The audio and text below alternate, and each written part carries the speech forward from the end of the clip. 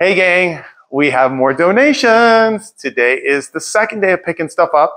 And I went by Tasha with Integrity Insurance. She had some great stuff picked up at our front door. Brought it here. Take a look at all this stuff here.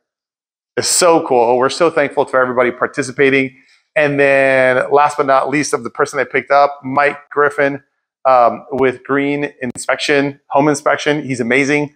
And these are all brand new items, hygiene items. So he went out of his way to go purchase brand new pots and pans, socks, uh, deodorant, all sorts of stuff that kids are going to need with the Child Advocacy Center. So shout out to both of y'all. I really appreciate you. Let's keep going.